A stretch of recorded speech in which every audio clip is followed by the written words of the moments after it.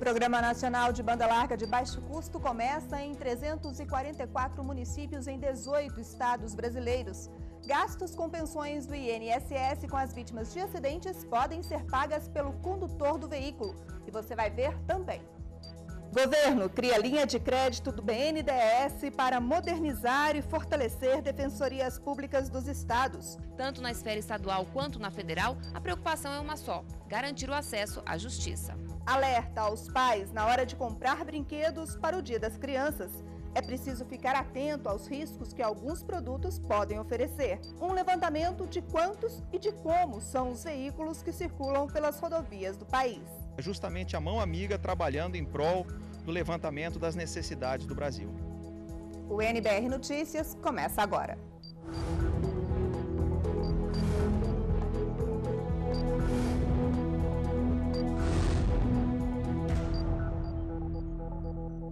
Boa noite. Começou a segunda etapa da Pesquisa Nacional de Tráfego. O Ministério dos Transportes quer levantar quantos e como são os veículos que circulam pelas rodovias federais do país. As informações vão ser usadas na atualização do Plano Nacional de Logística de Transportes. Parece uma operação de guerra. São 5 mil militares pelas rodovias federais em todo o país. Aqui, as armas são os tablets, computadores de mão. Tecnologia serviço do transporte. Distribuídos em 120 postos nas estradas, o Exército está entrevistando motoristas para a Pesquisa Nacional de Tráfego, uma parceria dos Ministérios dos Transportes e da Defesa. São três etapas. Esta é a segunda. Cada motorista leva de dois a cinco minutos para responder o questionário. Que tipo de pergunta é feita para os motoristas? A origem que ele vem, o destino que ele vem, o destino que ele vai, quantas pessoas estão no veículo, isso aí seria um veículo pequeno. Um veículo grande seria o tipo de carga que ele está carregando e quantas vezes ele transita por essa via durante uma semana, mês. São esses tipos de perguntas. A primeira etapa da pesquisa foi na última semana de maio, em 11 estados, e revelou que a frota de veículos de carga tem idade média de 9 anos. Na primeira etapa da pesquisa, em 22 pontos de coleta espalhados pelo Brasil, foram registradas 1 milhão e 600 mil viagens. 53,3% eram de carros de passeio e 38,4% eram de caminhões. Entre os caminhoneiros, 6,7% estavam circulando de madrugada. Iniciativa boa, né? Está perguntando tudo que é preciso, o que, que não é, né? O que, que o caminhoneiro precisa, né? Que está precisando de muita coisa, né? Se realmente for considerável a situação das perguntas que ele fez, no caso de se houver necessidade de duplicação, postos, hotéis, para melhor atender o tráfego, sim é uma pesquisa bem fundamental. Nessa parceria com o Ministério dos Transportes, o Exército desenvolve o lema Braço Forte, Mão Amiga. É justamente a mão amiga trabalhando em prol do levantamento das necessidades do Brasil. A pesquisa é feita com todos os tipos de veículos, de motocicletas a carretas. Toda essa coleta de dados é essencial para estudos e atualização do Plano Nacional de Logística e Transporte. Se nós considerarmos que o Plano Nacional de Logística e Transporte é quem orienta as decisões governamentais quanto aos projetos prioritários na área de transporte, nós vamos verificar a importância de nós termos essas pesquisas, porque elas vão fornecer ao decisor informações que são não só de qualidade, mas informações também que são confiáveis. A pesquisa vai ser concluída com a realização da terceira etapa ainda no mês de novembro deste ano. A presidenta Dilma Rousseff teve um único compromisso hoje na Turquia. Logo cedo, ofereceu um café da manhã ao primeiro-ministro Tayyip Erdogan e, no final do dia, embarcou de volta a Brasília. E o presidente da República em exercício no Brasil, Michel Temer, passa o final de semana em São Paulo sem compromissos oficiais. O INSS quer cobrar de motoristas infratores os valores gastos com o pagamento de benefícios para as vítimas de acidentes. O governo gasta cerca de 8 bilhões de reais por ano com pensão, auxílio-doença e aposentadoria por invalidez. Imprudência, dirigir embriagado, andar na contramão, pisar fundo, bem acima da velocidade permitida. Condutas de alguns motoristas que acabam gerando acidentes, muitas vezes fatais. O Brasil ocupa o quinto lugar no ranking de acidentes de trânsito com morte, segundo a Organização Mundial da Saúde. Quem deve ser responsável pelas despesas provocadas por esses acidentes? cabe ao motorista, né, o infrator desse acidente, bancar as despesas da vítima. A gente não paga tanto imposto, tem impostos que nós pagamos justamente para essas horas. O motorista tem que bancar, né? Porque está embriagado, bebo, né? Então ele tem que ser responsável pelos seus atos, né? Hoje quem paga a conta é a União. O INSS desembolsa todos os anos cerca de 8 bilhões de reais com benefícios como aposentadoria por invalidez, pensão por morte, auxílio doença. Mas o governo está decidido, não quer mais mancar esse prejuízo. A ideia é que os causadores dos acidentes devolvam aos cofres públicos o dinheiro pago com as despesas das vítimas. O INSS está fazendo um levantamento em busca desses motoristas infratores. A Advocacia Geral da União deve entrar com as ações agora em outubro. Os primeiros processos serão movidos em cima de casos graves, nos quais os motoristas já tenham sido condenados por homicídio doloso. O governo federal vai seguir o modelo usado com as empresas que não previnem acidentes de trabalho. Quando um funcionário se machuca por falta de equipamentos ou de qualificação para o cargo, o INSS entra com o pedido de indenização. Até hoje, em todo o país, o órgão já entrou com mais de 1.400 ações desse tipo. Uma ação que enseja indenização pode ser pensada no início que o INSS está só pensando nos recursos. É, nós temos a obrigação legal de proteger os recursos do trabalhador. Então a gente vai sim buscar os recursos. Mas a nossa primeira meta é que isso sirva como uma medida pedagógica, que os, os aqueles motoristas que insistem em dirigir na contramão, alcoolizado, usando drogas ou outros tipos de, de, de, gravíssimas infrações, eles sejam desestimulados, porque a sociedade não tem mais como arcar com esse tipo de comportamento. O Ministério das Comunicações divulgou nesta sexta-feira a lista das cidades já atendidas pelo Programa Nacional de Banda Larga. Nesses locais, as concessionárias de telefonia fixa que firmaram um acordo com o governo federal oferecem conexão à internet com velocidade de 1 mega por segundo a 35 reais por mês. Foram contemplados 344 municípios em 18 estados. Até o final do ano, 544 municípios devem ser atendidos. E até 2014, todas as cidades brasileiras devem contar com a internet banda larga. Estão abertas até o dia 20 deste mês as inscrições para a primeira chamada pública do Ciências Sem Fronteiras. O programa vai oferecer nos próximos quatro anos até 75 mil bolsas de estudos no exterior para estudantes, pesquisadores e profissionais do mercado. Nesta primeira chamada, a oferta é para bolsas de estudo na modalidade graduação sanduíche nos Estados Unidos a partir de janeiro do ano que vem. Com a prorrogação do prazo, que inicialmente estava previsto para o fim de setembro, os alunos ganharam alguns dias a mais para realizar a inscrição, que deve ser feita no endereço eletrônico da CAPES na internet. Os candidatos devem ter nacionalidade brasileira, apresentar bom rendimento acadêmico e ter concluído no mínimo 40% e no máximo 80% do currículo previsto para o curso também devem enviar a CAPES exame que certifica a qualificação em língua inglesa com nota mínima de 79 pontos. Os estudantes selecionados vão receber um apoio financeiro por 12 meses, o pagamento de taxas em faculdades e universidades norte-americanas quando houver esta necessidade e passagens para o percurso Brasil, Estados Unidos, Brasil. Tudo isso custeado pelo governo brasileiro.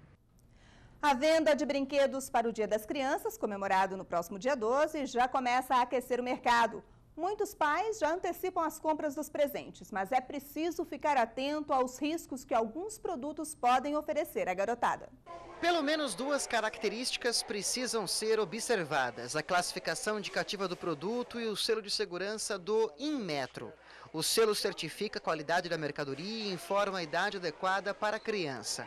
São consideradas as dimensões, o formato e a substância do brinquedo. Já a classificação indicativa relata o conteúdo de filmes, programas de TV, DVDs e jogos eletrônicos e também traz recomendações sobre a melhor idade para o consumo. As faixas vão de livre até 18 anos, quando o conteúdo pode ter cenas de sexo, violência e tortura.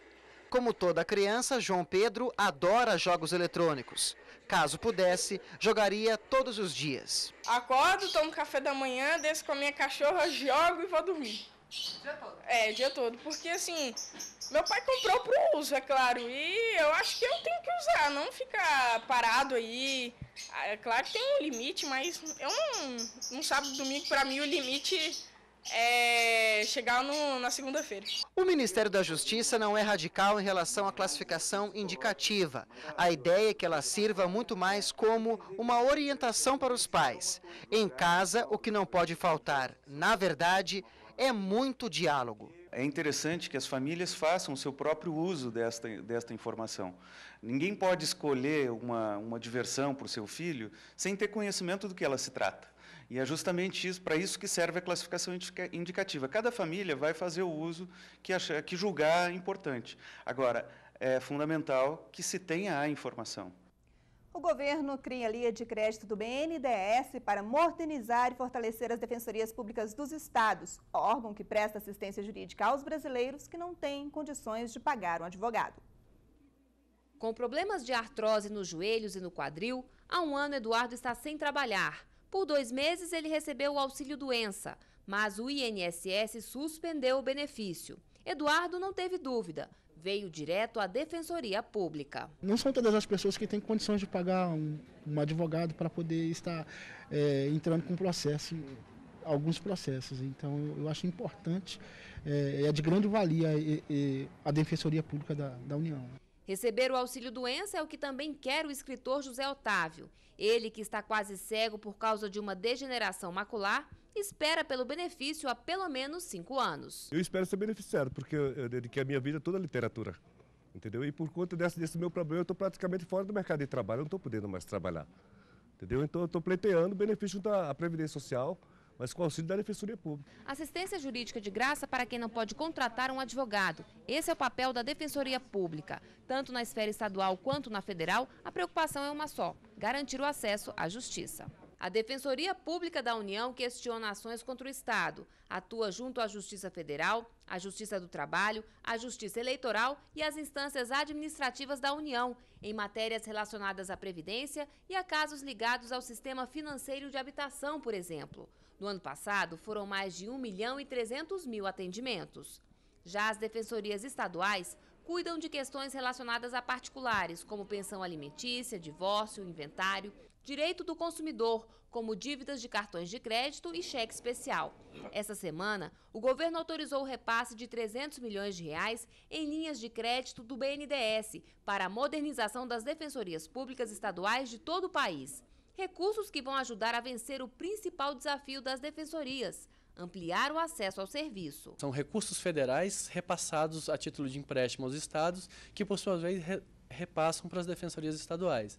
Então, elas vão utilizar esses recursos para melhorar sua, seu parque de informática, por exemplo, comprar mais computadores, comprar laptops para os defensores poderem atuar. Então, é uma forma de modernizar o equipamento da Defensoria Pública para prestar um melhor serviço para a população. Quem ganha no final é a população carente, que é essa pessoa, é esse público-alvo da Defensoria Pública que precisa tanto dos nossos serviços e que muitas vezes pega um serviço deficiente exatamente por falta de recurso, por falta de estrutura. Tem direito ao serviço de defensoria pública quem ganha até o limite de isenção do imposto de renda, pouco mais de R$ 1.800 por mês. Para aqueles que ganham acima do limite, é necessário comprovar a incapacidade de pagar por um advogado. Para um resumo das notícias do governo federal desta semana. A presidenta Dilma Rousseff esteve em viagem oficial à Europa. Dilma visitou a Bélgica, a Bulgária e a Turquia. Na Bélgica, a presidenta participou da quinta cúpula Brasil-União Europeia. A presidenta defendeu a união entre países para enfrentar a crise econômica internacional. Ainda em Bruxelas, Dilma Rousseff participou de um encontro com empresários brasileiros e europeus. Em Sófia, capital da Bulgária, a presidenta se encontrou com o presidente e com o primeiro-ministro do país. Dilma defendeu a aproximação comercial entre Brasil e Bulgária, em áreas como educação e ciência e tecnologia. A presidenta Dilma Rousseff encerrou a passagem pela Bulgária com a visita à cidade de Gabrovo, de onde há 80 anos o pai dela imigrou para o Brasil. Na Turquia, reuniões para fortalecer os laços bilaterais. A presidenta Dilma Rousseff se encontrou com o presidente e o primeiro-ministro turcos e participou do seminário empresarial Turquia-Brasil. A safra nacional de grãos deste ano deve chegar a 160 milhões de toneladas, 6,6% a mais que a safra de 2010, que foi de quase 150 milhões de toneladas. É o que indica a estimativa divulgada pelo IBGE. As mulheres do Centro-Oeste começam a receber treinamento para trabalhar na construção civil. O projeto Mulheres na Construção investe mais de 1 milhão e 300 mil reais no treinamento das trabalhadoras. De olho nos riscos da sibutramina, um dos inibidores de apetite mais vendidos no mercado, a Agência Nacional de Vigilância Sanitária decidiu aumentar ainda mais o controle sobre a prescrição e a utilização do remédio. Desde o ano passado, a venda e o uso da substância já eram restritos. A Anvisa também proibiu a comercialização de três outros inibidores de apetite feitos à base de anfetaminas desmatamento na Amazônia Legal caiu 38% em agosto deste ano, se comparado com o mesmo período do ano passado. Os dados foram divulgados pelo Ministério do Meio Ambiente.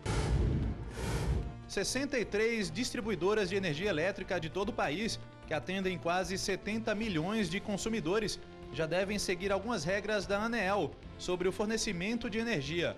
Entre elas, o ressarcimento pelas empresas em alguns casos de interrupção no fornecimento, as empresas também são obrigadas a oferecer aos consumidores os serviços de ouvidorias para reclamações que devem ser respondidas em até 30 dias.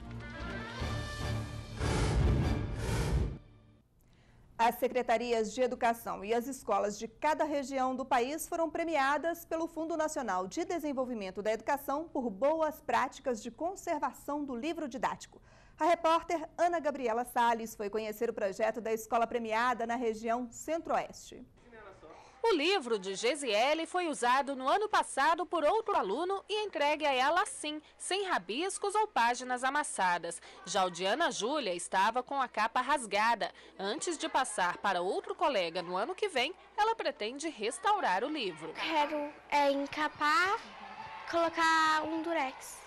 Por ano, no Brasil, cerca de 20% de todos os livros didáticos da rede pública precisam ser substituídos pelas más condições de uso ou porque não foram devolvidos pelos alunos. Esta escola de ensino fundamental em Brasília orienta os estudantes sobre a importância de preservar o livro. A professora que coordena a sala de leitura exibiu um vídeo para conscientizar as turmas e fez um concurso de redação sobre o tema. O texto de Cleverson foi o campeão dono de um livro encapado e muito bem conservado, ele ensina. Eu boto ele na fileira bem guardadinho, não saio jogando o livro, passo um paninho sempre para não deixar empoeirado, mas sempre com cuidado.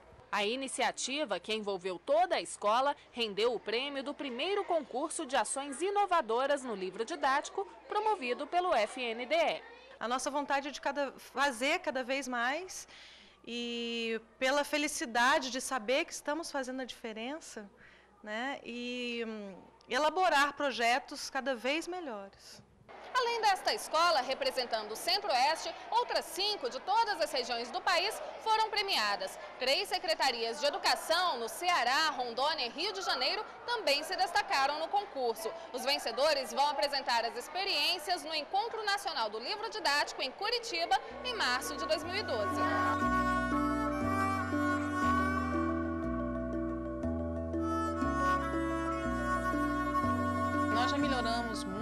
Relação à conscientização do bom uso do livro didático, mas ainda temos que melhorar. Né? É, a questão da, do encapamento do livro é importante, da devolução do final do ano, de não riscar o livro, são ações que ainda podem ser melhoradas. Eu ensino os meus não deixar dobrar a folha, ter aquele cuidado para não rabiscar, né? aquele cuidado todo que toda mãe tem que ter. Se você for pensar bem, livro é igual ao professor, porque o professor precisa do livro para nos ensinar. Então, eu acho bom a gente preservar o nosso livro A importância é para os outros alunos também, que eles podem usar o livro no ano que vem. Livro é igual a professor. Quanto mais alunos ensina, mais educação e amor.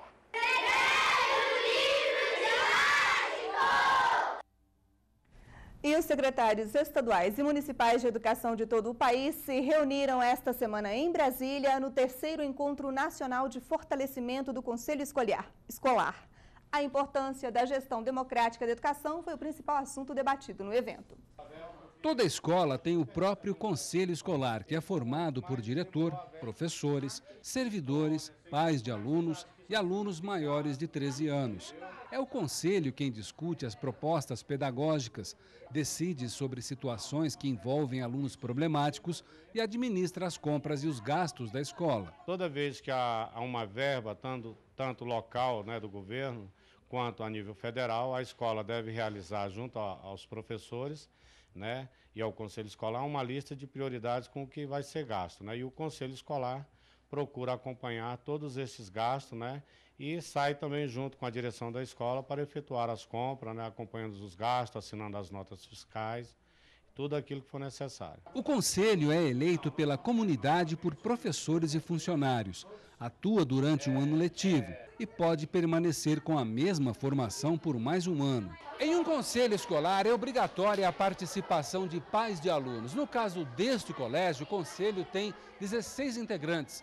Desse total, 25% ou 4 pessoas são pais, que nas reuniões ajudam inclusive na parte pedagógica. Alguns não, dão umas ideias muito boas assim para a gente usar em sala de aula. Este encontro do Ministério da Educação em Brasília discute como fortalecer os conselhos escolares, porque muitos ainda funcionam de forma precária e como criar conselhos em escolas que ainda não têm. O que a gente vai discutir aqui é justamente as ações que nós devemos desenvolver com esses técnicos eh, para outros municípios criando núcleos articuladores, grupos articuladores em cada estado para promoção de implantação de conselhos onde não existirem. Então, os municípios que já estão fortalecidos ajudarem os outros municípios. Isso está funcionando muito. Todas as escolas públicas brasileiras recebem recursos do Ministério da Educação, mas só poderão receber se a gestão for efetivamente democrática. Então, onde nós queremos chegar é que as escolas tenham os conselhos para legitimar a gestão dos recursos públicos que as escolas recebem. Está liberada para consulta pela internet a coletânea dos temas para o Fórum Mundial de Educação Profissional e Tecnológica. O documento serve de orientação para as discussões do fórum que vai ser realizado em Florianópolis em junho do ano que vem. Bom, por hora é só essa edição do NBR Notícias fica por aqui. Para você uma boa noite, aproveite o domingo. Outras informações a qualquer momento em nossa programação. Continue com a gente, NBR e a TV do Governo Federal.